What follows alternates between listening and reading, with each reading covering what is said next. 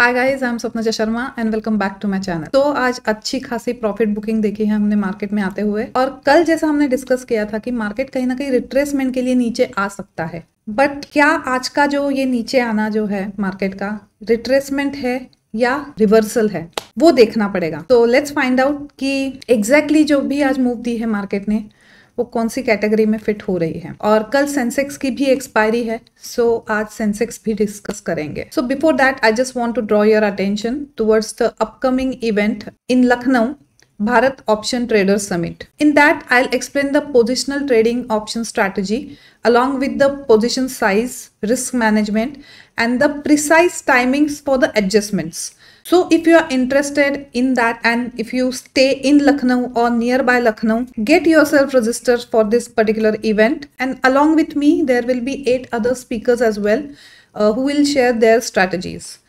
And so अगर आपको networking करनी है आपके फेलो ट्रेडर्स के साथ सीखना है डायरेक्टली मेंटर से गेट योर सेल्फ रजिस्टर्ड मैंने जो लिंक है वो डिस्क्रिप्शन बॉक्स में दी हुई है। परसों मैंने ट्विटर पे भी वो पोस्ट करी थी। 17 नवंबर को ये इवेंट है लखनऊ में। तो see you soon there all right now let's get back to charts okay again हम डेली से ही शुरुआत करते हैं निफ्टी से, जो हमने कल बात करी थी कि we need closing about this particular consolidation zone जो बिल्कुल हुआ नहीं है। यहाँ से जो ऊपर एक बाइंग आई थी, आज उसने फिर से रिवर्सल रिवर्सल लिया है। और डेली की अगर आप कैंडल देखोगे तो बहुत स्ट्रॉन्ग कैंडल है ये बहुत ज़्यादा स्ट्रॉन्ग कैंडल है ये 15 मिनट पे देखते हैं कि क्या इसको हम रिट्रेसमेंट कह सकते हैं या रिवर्सल कह सकते हैं ओके okay. एग्जैक्टली exactly क्या हुआ है कि ये जो हमारा सेलिंग uh, जोन है जो एक मुझे एक्सपेक्टेशन थी कि अब जाके ये ब्रीच हो सकता है क्योंकि uh, बहुत बार this is like tested for many many times और इस बार मुझे बिल्कुल भी ऐसा नहीं लग रहा था कि ये कहीं ना कहीं यहाँ पे रिजेक्शन लेगा। फ़र्स्ट ऑफ़ ऑल लग रहा था कि एक गैप अप ओपनिंग भी हो सकती है तो इसी को वो एज अ सपोर्ट यूज़ कर सकता है। तो एग्जैक्टली exactly क्या हुआ? जैसे ही मार्केट ओपन हुआ, एक फ्लैट ओपनिंग हमें मिली। फ़र्स्ट 15 मिनट के कैंडल ने ही ये बता दिया कि इस रेजिस्टेंस में अभी भी दम है। पता नहीं कौन से सीमेंट का बना है। बट ये जो फ़र्स्ट 15 मिनट की मैसिव कैंडल थी मतलब बिल्कुल उसने क्लू दे दिया था। या ये जो एक स्विंग पॉइंट कल हमने यहाँ पे ड्रॉ किया था लाइन 24 टू 81 के आसपास, यहाँ तक तो मार्केट आ सकता है, जिस हिसाब से ये कैंडल बनी। Again I was expecting a bounce from this but उसने जो बाउंस लिया है, वो बेसिकली जो कल का लो है, कल के लो पे आके बाउंस भी नहीं लिया है काइंड ऑफ़ एक कंसोलिडेशन किया है। Now to understand the difference between the retracement and reversal what is that जब कभी रिट्रेसमेंट के लिए मार्केट नीचे आता है ना, तब इतनी स्ट्रांग कैंडल से नहीं आता है। वो मतलब you know kind of indecisive candle थोड़ी बहुत उसमें से एक दो स्ट्रांग कैंडल ऐसा जो स्ट्रक्चर होता है ना, वो समझ में आता है कि वो रिट्रेसमेंट के लिए आ रहा है। जिस हिसाब से ये फिर से आया है नीचे, उस हिसाब से ये कहीं ऐसा इंडिकेशन नहीं दे रहा है कि ये रिट्रेसमेंट के लिए आया है। बहुत चांसेस है कि ये रिवर्सल के लिए नीचे आया है। Just because of all the strong candles तो अब कल के लिए क्या हमारी स्ट्रेटेजी हो सकती है? Now, आज का जो लो है अगेन वेरी वेरी इंपॉर्टेंट और यहाँ पे फिर से जाते जाते उसने क्या किया है? एक reverse flag and pole pattern बनाया हुआ है। Okay okay? So this is again a reverse flag and pole pattern okay कल के लिए क्या क्या सिनारियो हो सकते हैं? कल अगर इस पर्टिकुलर ट्रेंड लाइन के ऊपर मतलब आज के लो के ऊपर मार्केट ओपन होता है ओके तो कहीं ना कहीं ऑफकोर्स वो ऊपर जाने की कोशिश करेगा but now again twenty four four hundred के आसपास एक बार रेजिस्टेंस ले सकता है। In the case of gap down opening gap down opening मतलब twenty four one seventy eight का जो ये आज का लो है, इसके नीचे ओपनिंग देता है। तो हो सकता है कि ट्वेंटी से, जो कि एक साइकोलॉजिकल लेवल भी है अब यहाँ से कुछ एक बाउंस ले फिर से ऊपर जाए और इस पर्टिकुलर लेवल पे 24,178 पे अगर जाता है यहाँ से बाउंस लेके तो यहाँ से फिर एक रेजिस्टेंस लेने के चांसेस है। क्योंकि जिस तरह से ये सेलिंग आई है नीचे आया है यहाँ से मार्केट रेजिस्टेंस लेके it is not a good sign again in case of अगर फ्लैट ओपनिंग होती है मतलब यहीं पे ओपनिंग होती है फ़र्स्ट इनडिसाइसिव कैंडल बनती है, और ये जो स्विंग पॉइंट है, यहाँ से लेके यहाँ तक थोड़ा बहुत मार्केट यू नो वो करता है कंसोलिडेट करता है, और नीचे ब्रेकडाउन देता है तो फिर इवेंचुअली हम फिर से इस पर्टिकुलर लो तक मार्केट आता हुआ देख सकते हैं twenty three eight fifty three के आसपास। तब ये वाली जो है ट्वेंटी फोर थाउज़ेंड सिर्फ़ एक रिएक्शन लाइन बन के रह जाएगी, क्योंकि कहीं ना कहीं ये जो reverse flag and pole pattern है, वो एक्टिवेट हो जाएगा और इसका अगर हम पोल की साइज़ देखें तो ऑलमोस्ट यहाँ तक वो आएगी। तो जिस तरह से स्ट्रक्चर बना है आज का वो डेफिनेटली नहीं लग रहा है, ये रिट्रेसमेंट है। अब जो बुलिश अगेन बनेगा, वो तो ट्वेंटी फोर फाइव हंड्रेड के ऊपर ही एक बुलिश व्यू बनेगा। तब तक के लिए अगेन हो सकता है कि मार्केट इस सेलिंग जोन से लेके इस बाइंग जोन तक यू नो इवेंचुअली ऊपर नीचे ऊपर नीचे करता रहे। थ्री मिनट टाइम फ्रेम देखते हैं। All right guys so this is the three minute time frame of Nifty see what I was looking for एक first indecisive candle three minute की बनी थी और उसके बाद जो थी एक इन इनसाइड बार कैंडल बन गई थी। Uh, मैंने ये सेटअप आपको uh, पता नहीं दो तीन सेशन पहले समझाया था एग्जैक्टली exactly कब मुझे याद नहीं है। सो so, एक जैसे इनडिसाइसिव कैंडल पहले बनती है और उसके बाद कुछ इनसाइडर कैंडल बनती है। तो जब उसका आप हाईलो मार्क करते हो और जब भी कहीं ब्रेक होता है तो उसके दिशा में आप एक ट्रेड लेते हो। इन दैट केस फ़र्स्ट जो है एक इंडिसाइसिव कैंडल बनी थी एंड उसके बाद एक इनसाइडर बार यहाँ पे कैंडल बनी। देन आई वॉज़ थिंकिंग कि अब एक नेक्स्ट कैंडल बनेगी जो इसके ऊपर क्लोजिंग दे इस पर्टिकुलर लेवल के क्योंकि तब तक मेरा व्यू बुलिश ही था। बट uh, वो बनी नहीं। इसके बाद ये पर्टिकुलर रेड कैंडल बनी। बट इसने भी जो क्लोजिंग दी थी, इसके लो के नीचे क्लोजिंग नहीं दी थी। क्लोजिंग कहीं ना कहीं ऑल दो ब्रीच किया था लो बट क्लोजिंग उसने इस लो के ऊपर ही दी थी। तो शॉर्ट जाने का भी यहाँ पे कोई सीन मेरे लिए बन नहीं रहा था। एंड आई थॉट कि यहाँ से एटलीस्ट फिर कुछ यूटर्न आएगा, फिर थोड़ा सा ऊपर नीचे ऊपर नीचे करेगा इस पर्टिकुलर जोन में और कहीं ना कहीं ऊपर ही ब्रेकआउट देगा। तब तक मैं उसी जोन में थी कि ये कहीं ना कहीं ऊपर जाने की ही कोशिश करेगा। Then came this candle that was surprise for me कि अच्छा कि और वो नीचे आ रहा है। उसके बाद वो अच्छा खासा नीचे आया और यहाँ पे लो उसने बनाया। तो ये तो पूरा मैंने, मैं ले एटलीस्ट मैं ये ट्रेड नहीं ले पाई पूरा, इस इस पर्टिकुलर पार्ट में। तब तक जो है 15 मिनट पे अगर आप कैंडल जैसे फ़र्स्ट कैंडल थी, वो मैसिव रेड कैंडल बन गई थी। एकदम से जो हमारा सेलिंग जोन था, वहाँ से प्रेशर लेती हुई तो कहीं ना कहीं वो इंडिकेशन दे रही थी कि हाँ आज जो है मार्केट का टोन कहीं ना कहीं नीचे की तरफ़ ही रहने वाला है। यहाँ से एक थोड़ा सा रिट्रेसमेंट आया। अगेन इस रिट्रेसमेंट में तब तक मेरा व्यू जो है बदल गया था कि अब मैं बेरी स्ट्रेट ढूंढ रही थी। तो जैसे कि मुझे आर एस आई डाइवर्जन चाहिए था बट तब तक अगर आप आर एस आई तब देखते तो इसका आर एस आई कुछ सेवेंटी फाइव था। मतलब ये एटी की तरफ़ भी नहीं गया था कि मैं यहाँ, यहीं पे उसको शॉर्ट करूँ। तो बहुत कुछ अच्छा यहाँ पे भी ट्रेड नहीं मिला। मैंने सिर्फ़ इस लो को मार्क किया था। And again I was expecting कि हो सकता है यहाँ से फिर थोड़ा बाउंस आ जाए। फिर कहीं ना कहीं थोड़ा कंसोलिडेट करे और अगर फिर नीचे की तरफ़ देता है ब्रेकआउट तो वो ट्रेड में एज अ शॉर्ट ले लूँगी। बट इन कै इस कैंडल से भी बाउंस नहीं आया इस कैंडल से भी बाउंस नहीं आया एंड उसने ये वाला जो है you uh, know you know, नीचे की तरफ़ बेस ब्रीच किया। एंड तब जाके ये जो है यहाँ पे एंट्री मैंने ली थी और इस पर्टिकुलर लेवल के ऊपर मैंने एसएल लगाया था। बहुत लेट ट्रेड मैंने निफ्टी में शॉर्ट का लिया था क्योंकि कुछ भी सेटअप मैच नहीं हो रहा था। ये भी इसलिए लिया कि ये उसने बेस ब्रीच किया था। काइंड ऑफ़ स्ट्रॉन्ग कैंडल थी ये। और कहीं ना कहीं इसने एक जो है वॉल्यूम का स्पाइक अच्छा दिया था। मतलब इन सारे वॉल्यूम से अगर देखोगे एक स्पाइक भी दिया था। तब ऐसा लग रहा था कि ओके अब निफ्टी जो है, जैसे मैंने वहाँ पे भी समझाया कि एक स्विंग पॉइंट था 15 मिनट पे एटलीस्ट वहाँ तक तो जाएगा तो वहाँ तक के थोड़े बहुत पॉइंट्स कैच कर लेंगे करके। ऑल फिर यहाँ से बहुत अच्छा खासा नीचे गया वो। और फिर एक उसने नया लो इस तरफ़ लगाया। उसके बाद फिर से रिट्रेसमेंट दी। इस रिट्रेसमेंट में ज़रूर उसने फिर से एक एच डी अपॉर्चुनिटी दी थी। यहाँ पे एंट्री एंड अगेन यहाँ पे एसएल फिर वो ऊपर नीचे ऊपर नीचे होता रहा। अभी भी मेरे पास निफ्टी शॉर्ट है ओके अब जो मेरा एसएल है, वो इस पर्टिकुलर स्विंग पॉइंट के आसपास है। ये जो स्विंग पॉइंट है twenty four three sixty six का, यहाँ पे है।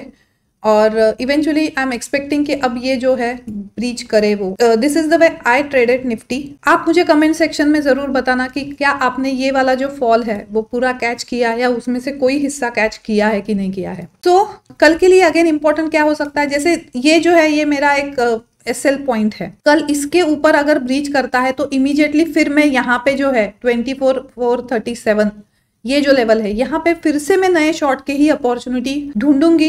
जब तक निफ्टी जो है इस पर्टिकुलर स्विंग पॉइंट के ऊपर काम नहीं करता है 24,488 के ऊपर जब तक काम नहीं करता है तब तक मैं यहाँ से या यहाँ से शॉर्टिंग की अपॉर्चुनिटी ही ढूंढूँगी। क्योंकि ये फॉल जो आया है this is not good fall कल अगेन जो मेरे शॉर्ट मेरे पास है उसके लिए मैं टारगेट अब twenty four one fifty nine का लेके चल रही हूँ। मतलब मोटा मोटा वही ट्वेंटी फोर वन सिक्सटी के आसपास लेके चल रही हूँ। यहाँ पे आता है तो एक बार मैं बुक करूँगी एंड देन आई सी कि यहाँ से किस तरह से क्या बाउंस देता है नहीं देता है। So this is my plan for tomorrow all right now let's see Bank Nifty उसने क्या किया आज? सी अगेन बैंक निफ्टी में भी जो एक ट्रेंड uh, लाइन कल ही हमने इसको ड्रॉ किया था। एंड ये जो है एक फ्लैग एंड पोल वाला जो सिचुएशन जो मैं एक्सपेक्ट कर रही थी। तो उसने भी बहुत एक स्ट्रॉन्ग कैंडल से आज ओपन होते बराबर यहीं पे, इस ट्रेंड लाइन पे ही अच्छा खासा रिजेक्शन लिया। फ़र्स्ट ऑफकोर्स जब रिजेक्शन लिया, तब यहाँ पे फ़र्स्ट उसका एक यू नो फिफ्टीन मिनट की कैंडल में था कि हाँ यहाँ से हो सकता है यूटर्न ले। एंड मैक्स मुझे था कि यहाँ से एटलीस्ट वो आएगा। कल भी मैंने इस पॉइंट के बारे में बात करी थी fifty one seven thirty eight के बारे में। कि हो सकता है यहाँ से आए और यहाँ से कुछ यूटर्न ले ले वो। सो so, बिल्कुल आया और यहाँ पे कहीं ना कहीं पॉज हुआ है बैंक निफ्टी यूटर्न लेके उसने फिर से इसको fifty two zero fifty four के आसपास गया। पर अभी फ़िलहाल इसी इसमें ऊपर नीचे ऊपर नीचे कर रहा है। सो so, अगेन अब जब बाय का सिनारियो कब बनेगा? जब ये ट्रेंड लाइन को ब्रीच करेगा वो ओके okay? तो अगर कल फ्लैट ओपनिंग होती है between this fifty two zero fifty four and fifty one seven thirty eight तो यहाँ पे आपको कोई ट्रेड नहीं मिल सकता चॉपीनेस मिलेगी। तो जो लॉन्ग की पोजीशन होगी, वो तब तक मत बनाना जब तक इस ट्रेंड लाइन को ब्रीच ना करे। शॉर्ट की पोजीशन कब बना सकते हो? जब आज के लो को ब्रीच करके वो नीचे फिर एक स्विंग पॉइंट है fifty one four fifty one और इवेंचुअली फिर fifty one zero forty one ये उसके टारगेट है। जिस हिसाब से हमने सेलिंग को एब्जॉर्ब होते देखा है, कहीं ना कहीं अभी तक ये नहीं बोल सकते कि बाइंग एब्जॉर्ब हुई है।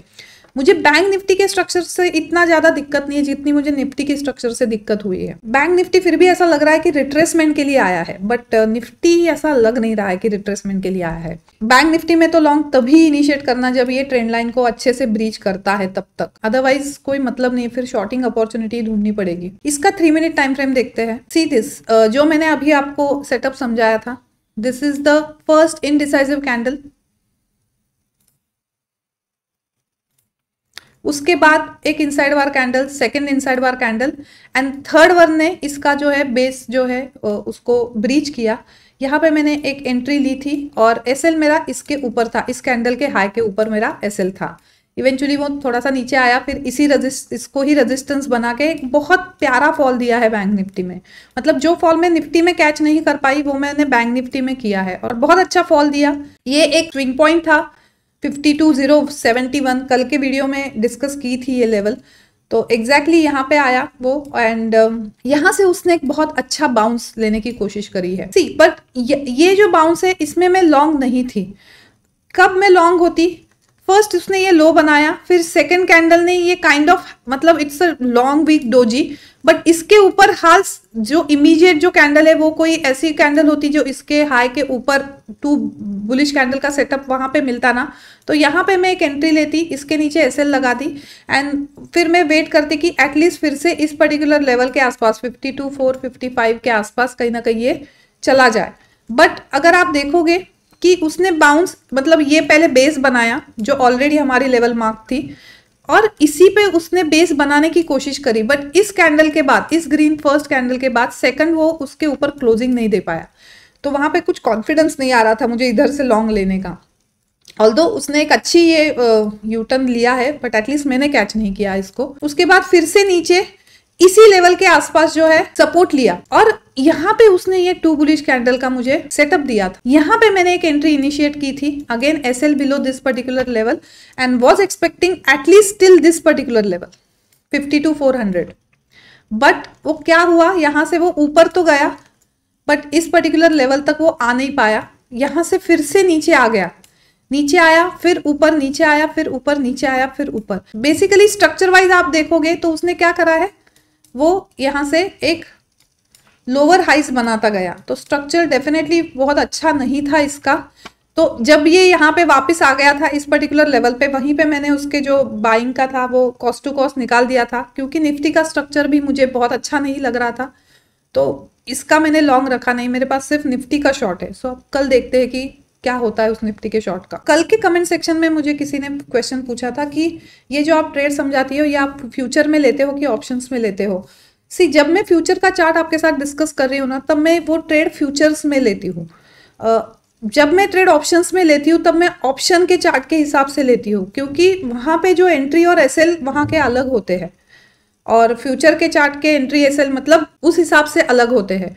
कभी कभी क्या होता है फ्यूचर में एक प्लस पॉइंट होता है कि यहाँ से सपोज़ आपने ट्रेड ले भी लिया, ठीक है? यहाँ पे एंट्री कर ली, यहाँ पे एसएल लिया। इसके बाद वो कंसोलिडेट होता गया होता गया होता गया और फिर जाके कहीं ना कहीं उसमें एक मूव आ गई। तो इसमें नुकसान हमारा फ्यूचर में कुछ होता नहीं बट ऑप्शंस में क्या होता है? अगर हमने ट्रेड इस हिसाब से ऑप्शन में एंट्री कर ली और अगर वो कंसोलिडेशन मोड में चला गया तो ऑप्शन में डी के आ जाएगा और जो भी आपका सेट एसएल है, वो एसएल निकाल के फिर वो कहीं ना कहीं टारगेट पे चला जाएगा। तो वो वहाँ पे दिक्कत होती है। इसलिए फ्यूचर को देख के ऑप्शंस में ट्रेड मत लो। ऑप्शन के अपने एंट्री पॉइंट और एसएल अलग होते हैं। उस हिसाब से फिर रिस्क टू रिवॉर्ड मैनेज करने में ऑप्शंस में आसानी होती है। सो so, अगेन कल के लिए क्या है कि कल अगर इसके नीचे है तो शॉर्ट की एंट्री बनती है। और अगर फ्लैट ओपनिंग होती है और कहीं ना कहीं ये ब्रीच करने की कोशिश करता है ये ट्रेंड लाइन बेसिकली ये ट्रेंड लाइन और ये जो है ना 52 टू टू सेवेंटी सेवन बहुत इंपॉर्टेंट है मार्क करके चलना। ये दोनों ऐसा कुछ मिलता है कॉम्बिनेशन तब ऊपर का एक ट्रेड आप ले सकते हो। एंड इवेंचुअली हो सकता है कि आज के हाई तक फिर वो चला जाए। Now will see Sensex all right guys this is Sensex Sensex का डेली व्यू है ये। एंड सेम अगर आप निफ्टी का देखोगे बैंक निफ्टी का देखोगे या सेंसेक्स का देखोगे, एक डेली में वो एक बॉक्स में ही ऊपर नीचे ऊपर नीचे कर रहे हैं। और सेम फिफ्टीन मिनट जो स्ट्रक्चर है वो निफ्टी की तरह ही है सेंसेक्स का। ये उसके लिए 84 मोटा मोटा 8500 एक अच्छा खासा रेजिस्टेंस है। और बहुत बार उसने यहाँ से रेजिस्टेंस लिया है। और आज भी अगर निफ्टी ने जैसे ही वो रेजिस्टेंस से बहुत स्ट्रॉन्ग कैंडल बनाई थी सेंसेक्स ने भी बहुत स्ट्रॉन्ग कैंडल बनाई है ये। और ये नीचे आया, कल की लो जो है, इस स्विंग पॉइंट तक नीचे आया है सेवेंटी नाइन फोर ट्वेंटी तक। पैटर्न सेम है जो निफ्टी में हमने डिस्कस किया था। एक फ्लैग एंड पोल का पैटर्न यहाँ पे भी बन रहा है उसका। Bearish reverse flag and pole तो अगर इसके नीचे जाता है तो इवेंचुअली ये जो है एक स्विंग पॉइंट उसका यहाँ पे है। मतलब दो दो टारगेट लेके चलो। एक तो seventy eight nine twenty one and seventy eight four twenty one जिस हिसाब से सेंसेक्स जिस हिसाब से स्ट्रक्चर है, लग तो ऐसा नहीं रहा है कि इसके नीचे एक्सपायरी होगी। सो तो कल अगर गैप डाउन ओपनिंग होती है तो एक बाउंस यहाँ से एक्सपेक्ट कर सकते हो। सेवनटीन एट नाइन ट्वेल्व के आसपास से एक बाउंस एक्सपेक्ट कर सकते हो। और फिर देखना कि यहाँ से कुछ अगेन शॉर्टिंग की अपॉर्चुनिटी मिलती है क्या? यहाँ से बाउंस लेने के बाद। In case of flat opening और कंसोलिडेट होके नीचे यहाँ से ब्रेकआउट ब्रेकडाउन देता है तो फ़र्स्ट टारगेट ये एंड इवेंचुअली सेकेंड टारगेट ये। क्योंकि वो ये फ्लैग एंड पोल एक्टिवेट हो जाएगा। फिर उसका सीधा पोल की अगर लेंथ आप देखोगे तो इतनी ही आएगी वो। अगेन इस पर्टिकुलर जो ट्रेंड लाइन है मतलब कहीं ना कहीं ऐसा लगा कि इसी बेस से एक सपोर्ट लेने की कोशिश कर रहा है सेंसेक्स तो इवेंचुअली जो है, इस स्विंग पॉइंट तक तो वो जा ही सकता है which is around eighty one twenty nine के आसपास। और यहाँ से लेके यहाँ तक फिर कंसोलिडेट हो जाएगा इसके बीच में। तो ये तीनों सिनारियो है सेंसेक्स के। मोटा मोटा इसके ऊपर लग नहीं रही एक्सपायरी इस सेलिंग जोन के ऊपर और इस बाइंग जोन के नीचे। So that's it from my side अगर आपके कुछ क्वेरीज है क्वेश्चन है तो मुझे कमेंट सेक्शन में ज़रूर बताना। जब भी मैं नेक्स्ट डे के लिए एनालिसिस के लिए आऊँगी, तब मैं उसकी आंसर देने की कोशिश करूँ। That's it from my side अगर आपको ये एनालिसिस यूजफुल लगती है तो don't forget to like it share it and subscribe it so good night and have a nice trading session ahead